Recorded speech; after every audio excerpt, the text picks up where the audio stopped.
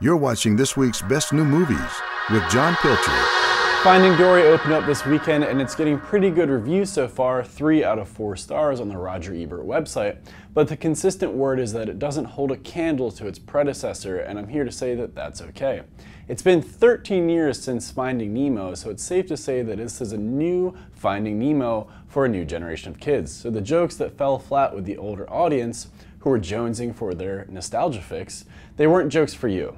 Don't be upset that the sequel to a movie that you loved as a kid feels different over a decade later. Is Finding Dory worth seeing? It absolutely is. Tune in next week for the best new movies and don't forget to download the News Station app and check us out on Facebook, YouTube, and Twitter. For more news, check out newstation.com on the App Store, Twitter, YouTube, and Facebook.